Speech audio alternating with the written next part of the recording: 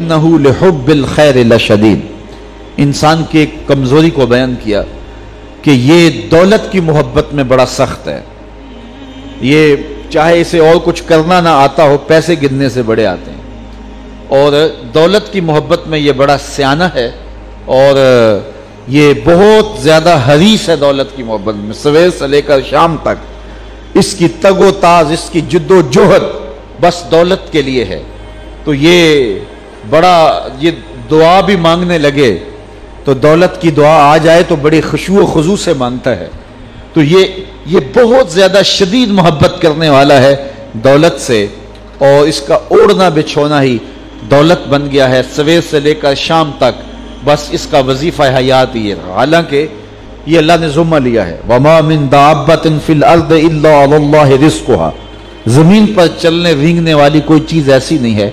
जिसका रिस्क अल्लाह ने अपने जुम्मा करम पे न लिया हो। वो तो जानवरों को भी रिस्क देता है। शिकम मादर में जब बच्चा होता है 120 दिन का तो फरिश्ता आके उसकी उम्र भी लिख जाता है, उसका रिस्क भी लिख जाता है, उसका शकी और सईद होना भी लिख जाता है। लेकिन इसने इस कदर परेशानी ली है, जो रब का जुम्मा है, इसका इतना काम था कि काम पे जाता, मजदूरी करता, मेहनत करता, कारोबार करता, बस बाकी मामलात अल्लाह के सुपुर्द करता, दरूद पढ़ता और काम करता, बस। लेकिन इसने सारी जिम्मेदारियाँ अपने ऊपर ले ली हैं और जो इसका जुम्मा था उसको छोड़ दिया। और ये समझता है कि मैं बड़ी भरपूर ज़िंदगी गुजार रहा हूँ।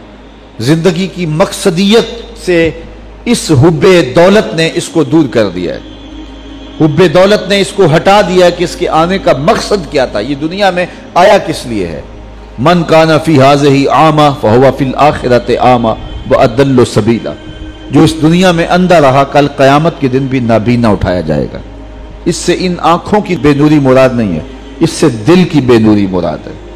तो जिसने आके दिल से आशनाई हासिल नहीं की, मन का चरागा ही नहीं जिसको नसीब हो सका, मकसद हयात, ज़िंदगी का शूर जिसे नसीब नहीं हो सका, मैं दुनिया पे आया क्यों था तो उसने फिर पाया क्यों?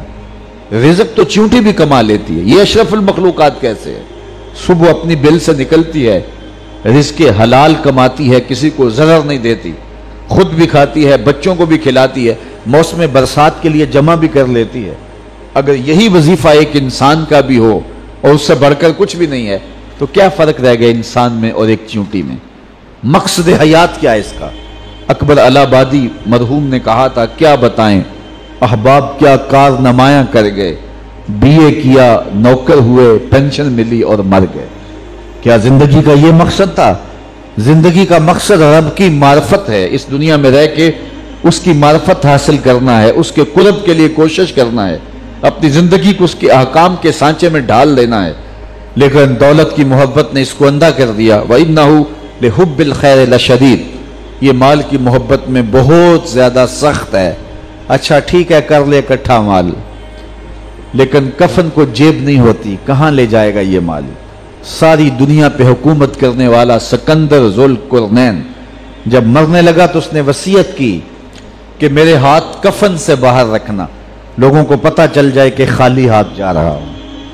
पूरी दुनिया पे हुकूमत करने वाला शख्स इतने बड़े महल्लात में ज़िंदगी गुजारने वाला, मैं इसके महल देख के आया हूँ तो मैं सोचता था, ये इतने बड़े महल, क्या इसका मशरफ होगा?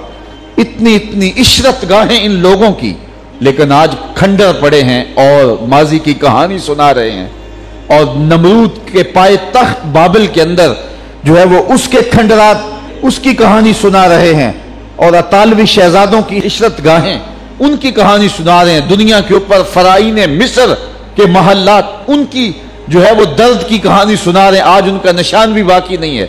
कहाँ गए? इसने कहा कि मेरे हाथ कफन से बाहर रखना, ताकि लोगों को पता चले कि मैं खाली हाथ जा रहा हूँ। ये आखिरी वक्त पता चला, काश के ज़िंदगी में इसकी खबर हो जाती कि कफन ऐसा लिबास है जिसको जेब नहीं होती, और यहाँ अमल पहले से भेजने होते हैं, और वहाँ जाके वसूल करने होते हैं। खुश नसीब है जो ज़िंदगी की मकसदियत से आगाह हो जाते हैं। तो सिकंदर जुलकरनैन ने कहा, मेरे हाथ बाहर रखना, ताकि दुनिया को पता चले कि गो मुहैया, सामान सब मुल्की व माली थे। सिकंदर गया जब दुनिया से तो दोनों हाथ खाली थे। इस्लामिक बयान के लिए हमारे चैनल शाइनिंग कश्मीर ऑफिशियल को सब्सक्राइब करें।